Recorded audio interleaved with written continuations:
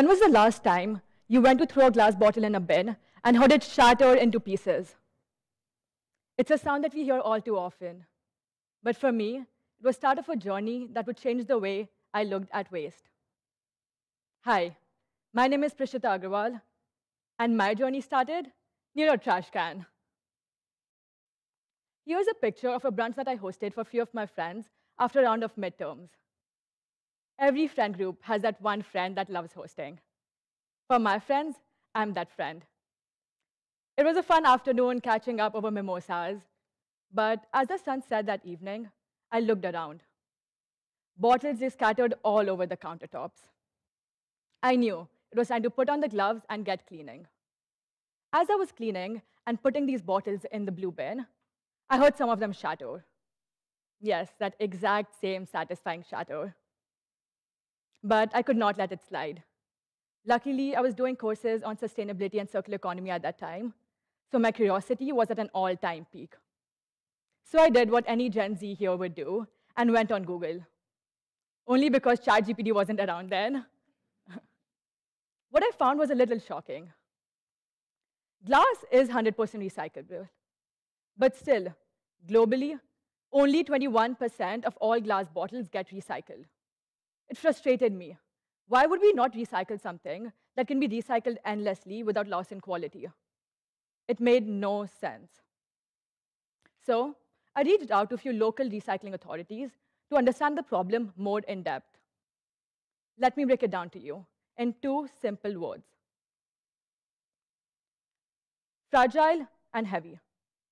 In a traditional recycling system, glass is collected with other recyclables, then it travels long distance to reach recycling plants, where it's sorted, melted, and then blown into new glass bottles.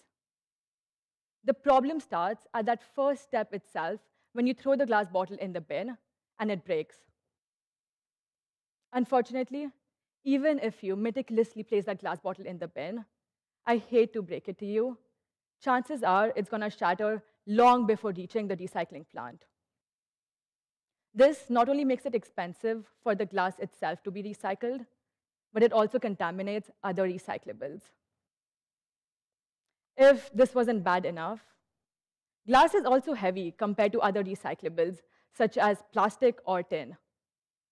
This means that it requires higher energy for glass to be transported, and this results in higher carbon emission, defeating the entire purpose of glass recycling itself. That's why, globally, 28 billion glass bottles and jars end up in landfills every year. To give you an idea, that is equivalent to the Empire State Building being filled up every 10 days.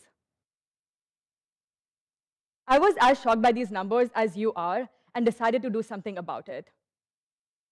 But as business students, we had no idea what to do. And the easiest way we could find after looking at a few YouTube videos was with an at-home glass cutter. So I went on Amazon and purchased a $50 glass cutter.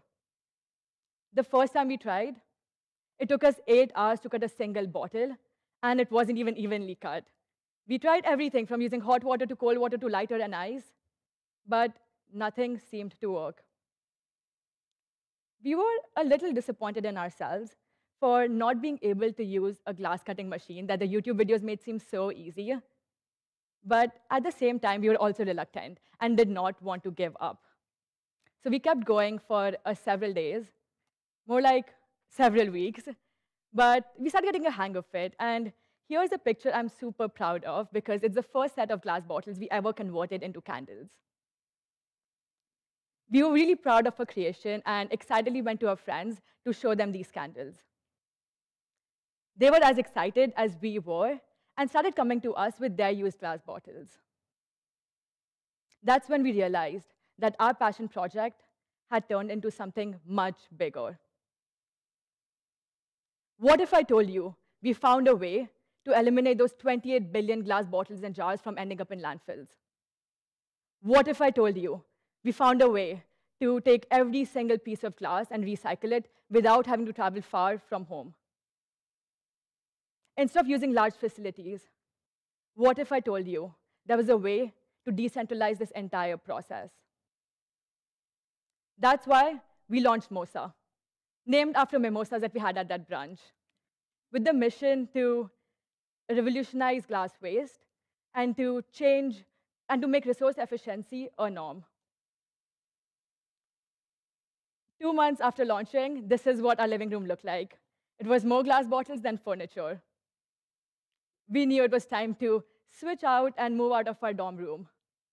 We needed a space which was close enough to reduce transportation costs and emissions during transportation, but also large enough to be able to store and upcycle all local glass bottles.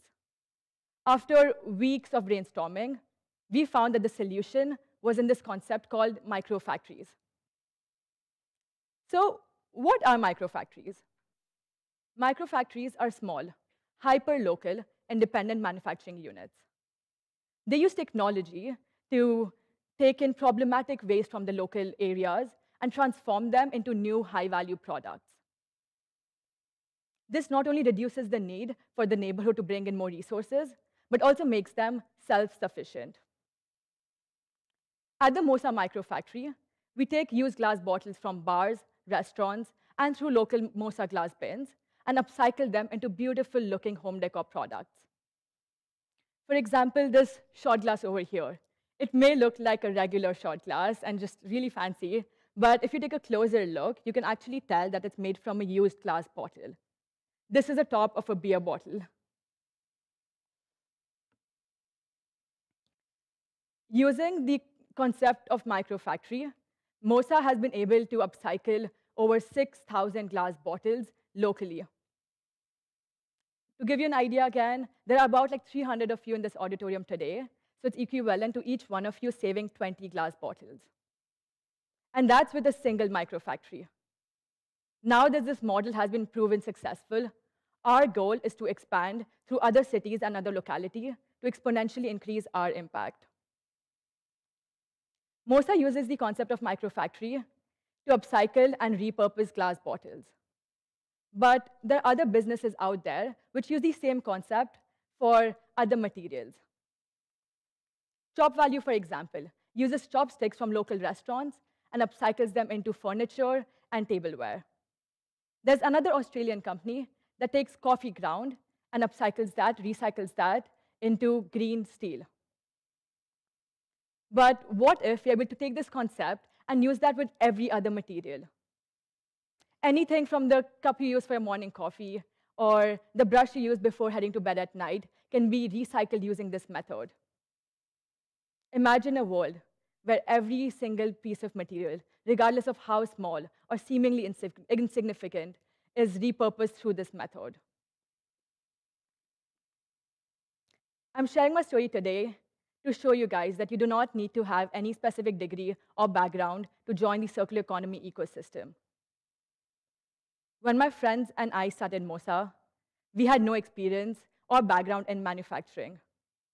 We were no designers, environmental engineers, or experts of like any sort. Honestly, very far from it. But what we did have was a shared vision for a world that values resource efficiency where people viewed resource waste as a resource and not trash. We were simply frustrated with the status quo and the linear approach our society took towards waste. My goal today is to inspire you to view trash as a resource that is untapped and can be repurposed into building a more sustainable future for everyone. I want to remind you that Mosa started with a simple brunch over mimosas. That seemingly small, insignificant incident inspired me to take my first sustainable step. And I genuinely believe that you too can find your inspiration anywhere you look. It could be while drinking that morning cup of coffee or while brushing at night. But I just urge you to take your first sustainable step. And if you don't know where, maybe even start by throwing your glass bottles in a Mosa bin. My journey started near a trash can. Yours can too. Thank you.